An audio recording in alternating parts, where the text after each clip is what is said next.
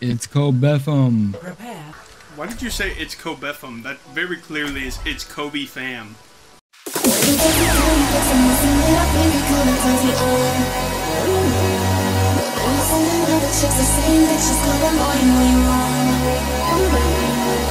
be talking all night on the phone with your sexy my friends.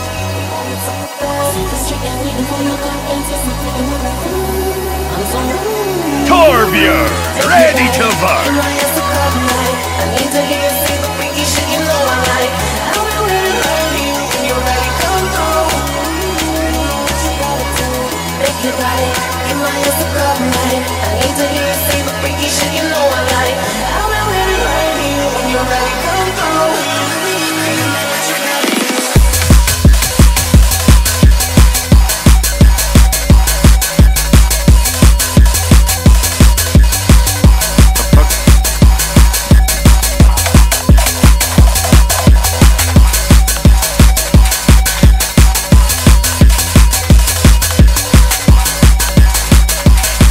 Right or wrong, I'm gonna finish this war.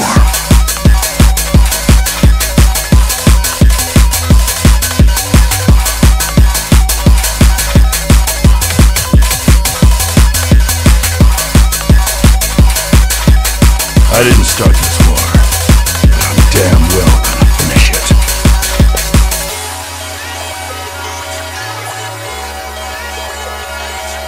Ash here.